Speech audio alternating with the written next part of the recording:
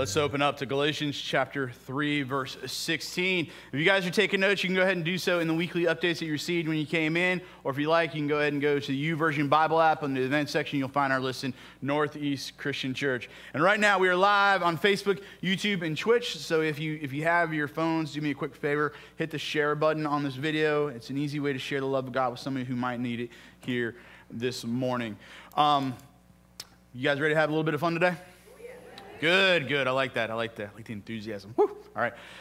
I I love being dad. I really do. I'll be honest, it has moments, okay? But overall, I love being dad, or as my boys refer to me as papa. All right. I love I love being papa. All right. Um, and this last this last week, specifically Monday, Labor Day, we, we, most a lot of us had it off and everything like that. I I I couldn't have been more proud. I couldn't have been more proud um, starts off, first and foremost, uh, Jonas, uh, he did his first ever devotion, okay? His first ever devotion, family devotion. He led devotions for us. And it was on, on Labor Day. It's about rest. He did such a fantastic job. It was so well written. I, I, I was so proud. I was so proud. Later on, he came to me. He said, Dad, you have any suggestions of how I could have done better? And I was like, I got a few notes. but overall, he did fantastic. He did a great job. I was so proud of him. I love being his, his, his dad, his papa. Um, later that day, Tobias um, created a very convincing PowerPoint presentation about why we should allow him to buy a lacrosse goal for the backyard. I know. He, uh, that's the only thing he learned from the sermon last week. That right there. All right. Um, but I'll be honest with you, I was, I was dead set against it. Like when he was like, I want a lacrosse goal for the backyard, I was like, nah, ain't happening. But then I watched his PowerPoint presentation, I was like, I'm convinced, let's get it. Okay? Um, his punctuation was horrible, but that's okay. All right, we'll let it slide. Earlier in that day, my, my, my Finn, my little Finn, my almost three, almost three months now, right? Going close. And uh, Finn, uh, me, Faye, and Finn went to Sam's, and as as uh, Faye was getting Finn all ready and we were getting ready to walk into Sam's, I noticed that Finn uh, threw up down the back of Faye's shirt. I was so proud of him. Just so you know, you guys, oh my gosh, Justin, that's horrible. No, I told her, I said, hey, Faye, Finn threw up down your back. And she was like, whatever. And she just kept, we shopped. She shopped like that. And so, mom life, that's, that's what it is. And so, um, I, I couldn't have been more proud. Um, on Monday, on Monday, if God would have come up to me and said, Justin, listen up. You see the stars in the sky? That's how many kids you're going to have. On Monday, I would have been like, cool. But he didn't say that to me. He was like, Justin, three's enough. And I'm like, cool. he didn't say that to me. He didn't say it to you. He said it to somebody else. He, he said it to a man named Abraham. He took him outside Genesis 15:5. He took him outside and said, "Look up into the sky and count the stars if indeed you can count them." Then he said, "So shall your offspring be." Later on, Genesis 17, he repeats the promise. Abraham fell face down, and God said to him, As for me, this is my covenant with you.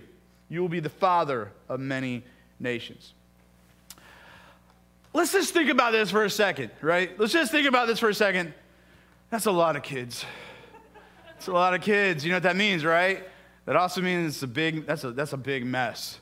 That's a big mess. That many kids, that's a lot of diapers. It's a lot of Cheerios in the cushions. It's a lot of Legos to step on. That's a, that's a lot of kids. Don't even bother cleaning, okay?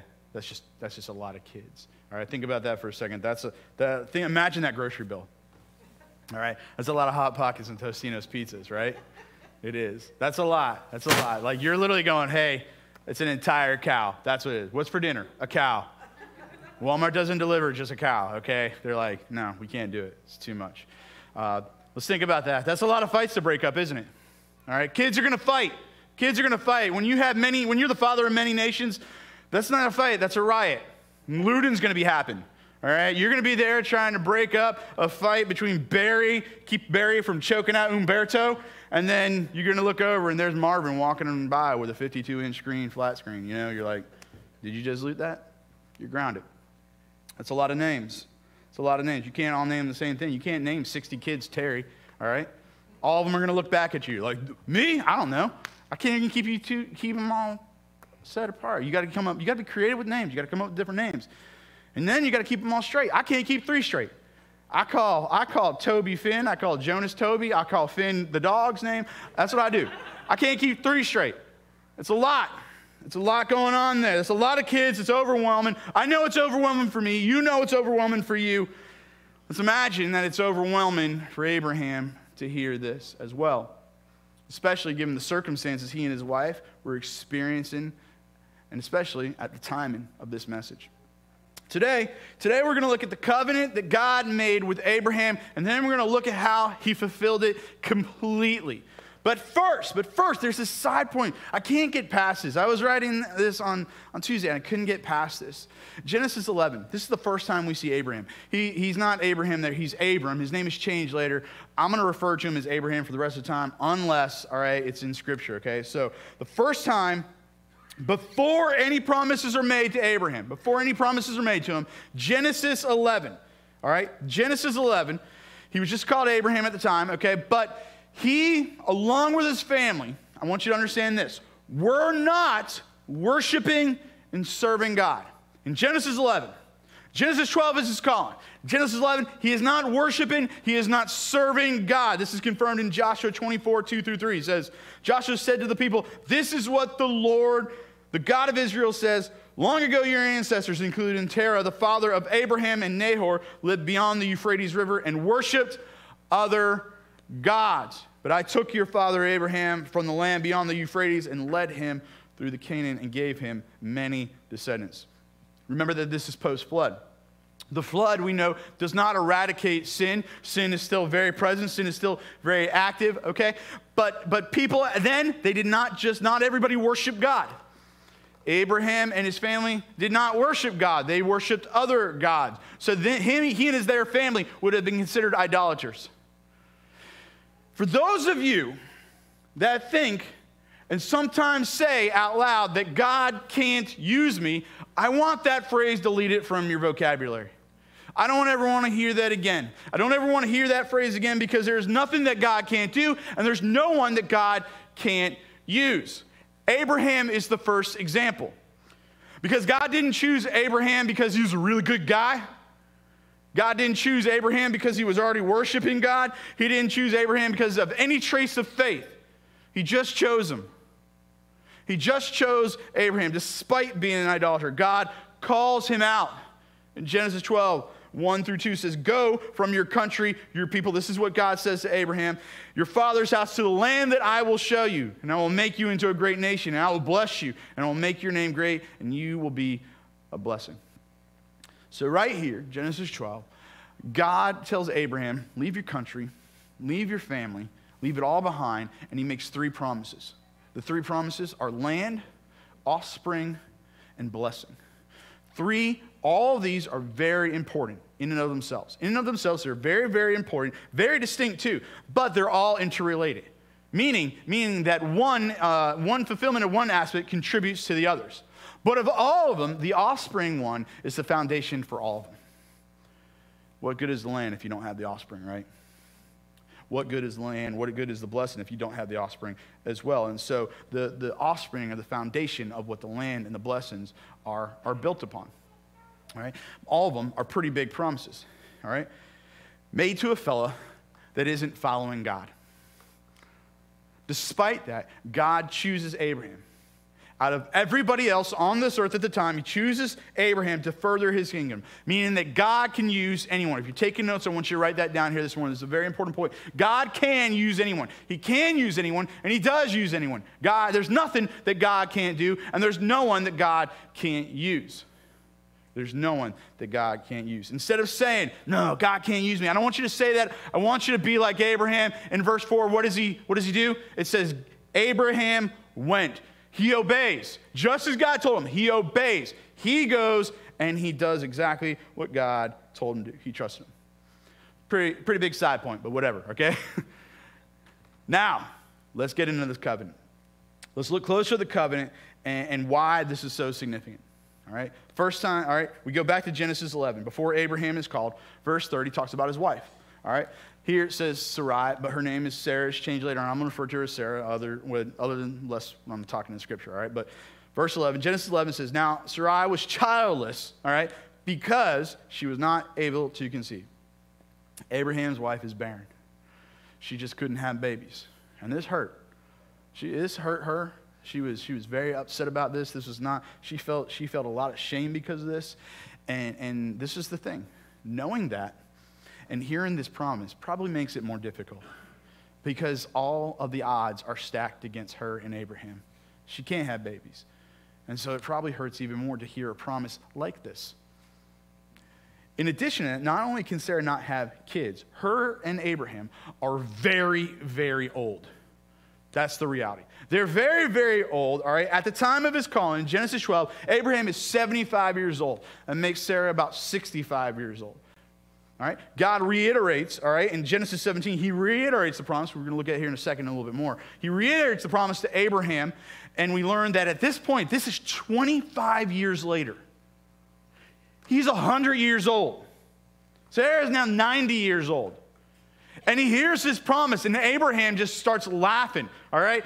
Verse 17 Abraham fell face down. He laughed and said to himself, Will a son be born to a man 100 years old? Will Sarah bear a child at the age of 90? Two very great questions. Now, here's the thing having a kid at an old age, all right, isn't impossible. Yours truly is the example, all right? It's not impossible, all right? Matter of fact, nowadays it's happening more and more. We see, we see it happen uh, pretty regularly nowadays. But not as old as Abraham and Sarah. No. Now, we don't see that, all right? We don't see something like that. Now, it's, it's feasible. It, it, it could possibly happen. But given the circumstances that not only is Sarah very old and Abraham is very old, but Sarah is barren, that's what sets up for this impossible feat. That's what sets up for the absolute impossible. So, how, the reality is is how are you going to have one, let alone the stars in the sky. How is that going to work? And you got all the odds stacked against you. And despite that, despite that, God confirms, reiterates his promise over and over and over again. Genesis 12 is the very beginning. He says it the very first time. Genesis 12, he, he calls Abraham and makes his first explicit promise. All right? Then Genesis uh, 15, God reasserts the covenant. He reasserts his covenant and he, and he gives more detail. It's in a more formal manner and he makes it official. He makes this covenant with Abraham official in Genesis 15. Then you get to Genesis 17 and he reasserts it once again. He establishes this sign, the sign being circumcision. But he reestablishes it, he repeats it over and over and over again, despite, despite the odds being stacked against him. And I think that's absolutely amazing. We look around and we're like, yeah, it's probably not going to happen. And we think, no, probably give up hope. But God says something, and then He repeats it over and over again. God doesn't back down, He keeps pushing. He keeps telling them over and over again that it's going to happen. And then what happens? It does happen. We look at Genesis 21, 1 through 2. Now the Lord was gracious to Sarah, as he had said, and the Lord did for Sarah what he had promised. Sarah became pregnant and bore a son to Abraham in his old age, at the very time God had promised. Last week, we made a very important point about God and promises. We said that God always keeps his promise. If you're taking notes, let's write that down again today. This is foundationally for us to understand covenants and, and the agreements that God enters into us. That, that when He makes a covenant, when He makes a promise, God is always going to fill it. He's always going to fulfill it. All right? She's barren. They're old. God says, You're going to have a baby. They're like, No way. And then it happens. Because God is a God of His word, God is a God of answered promises. Abraham and Sarah are overjoyed. Look at her response in, in verses 6 through 7. Sarah said, God has brought me laughter, and everyone who hears about this will laugh with me. Then she added, Who would have said to Abraham that Sarah would nurse children? Yet I have bore him a son in his old age. Look closely at, at, at that little phrase right there. Who would have said? Kind of like saying, Who would have thought? The answer is not us. I wouldn't have. You wouldn't have. None of us would have thought this, right? None of us would have said this either. Only one said it. Who said it? God said it. God says it. And as we learned last week, God is the God of His Word. When He says something, it stands true. No matter how long ago He said it, for a thousand generations, what He says stands forever. And when He makes a promise like this, He's going to stand by His promise. He fulfills it. He makes a promise, He keeps a promise. Abraham and Sarah, although the odds are stacked against them, their God stands true, and they have a son. Beautiful story, right? Beautiful. But here's the thing the promise was more than one, wasn't it? It was more than one, a lot more. All right, one's good, one's good, and one's a miracle. It's a lot more than one.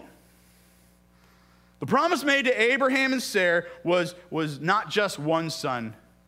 The covenant that was established to them was for many nations. And understand, I understand, it wasn't just Abraham, it was Sarah too. Abraham had eight kids altogether on his own. Sarah and Abraham, one. Only one. But the reality is this it wasn't just about Abraham, it was about Abraham and Sarah. So, how does God fulfill the larger part? You know, the father of many nations part. You know, the stars in the sky part. You know, there's actually this other part where it says your, your, your offspring, all right, will be uh, the number of the sands on the seashore. It's a lot of sand, it's a lot of kids. How do we go from one to that? How do we go to many? Going to need a lot more. Genesis, Galatians 3.16. The Apostle Paul writes, he makes a pretty, um, I think it's a significant, extremely significant observation. All right? The Apostle Paul writes, the promises were spoken to Abraham and to his seed. Scripture does not say, and to seeds, meaning many people, but and to your seed, meaning one person, who is Christ. Like I said, it's a pretty interesting observation. Pretty interesting observation that translates that it's not plural in Genesis 15 5. All right? We look back at Genesis 15 5. It says, Look at the stars in the sky, count the stars, and indeed you can count them. Then he said, So shall your offspring be. So he says one.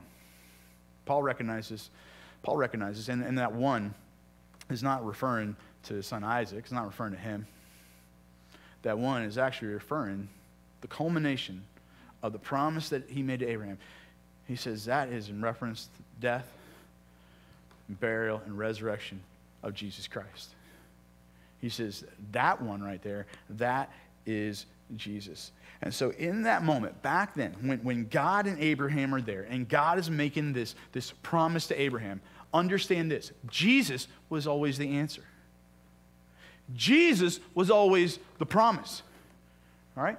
He was always the answer from the very beginning. He was always the answer to this promise. He was always the fulfillment of that promise. If you're taking notes, I want you to write this down. Jesus is the ultimate fulfillment of God's promise. He is the ultimate fulfillment. While, while Abraham had many physical descendants because of his son Isaac, he did have a lot of them. Um, Jesus establishes a much bigger family, a family that's, that's based in faith, a family that is right here, right now, today in this building. You and I are the result of God's answered promises. We are the many nations. We are the stars in the sky. We are the sand on the seashore. Jesus is the answer. We're the result of that promise. And that's how God answers Abraham's promise. It's us. We jump down to Galatians 3 26 through 28. So in Christ Jesus, you are all children of God through faith.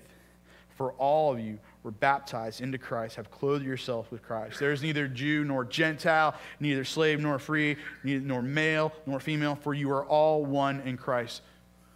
Jesus is the ultimate fulfillment of Abraham's promise to the covenant of Abraham. All of us who belong to Jesus in faith, we are that seed. Listen to what it says. The last verse, it says in Galatians 3.29, if you belong to Christ, then you are Abraham's seed and heirs according to that promise. So Jesus is the answer to that promise, and every single one of us here today, we are all the result. Will you pray with me now? Lord, I love you. I give thanks to you for all that you've done for all that you've given us. We praise you that you are uh, a God that stands true. You are not like us. You, you, are, you are God. You are not like any one of us. When you say something, it stands true for a thousand generations, and I thank you for that. I praise you for that. The promise that you made with Abraham is fulfilled through your Son, Jesus Christ, here today. I give thanks to you that I and all of us here today can, can stand firm knowing that we are the many nations, that we are the stars in the sky, that we are the culmination of your words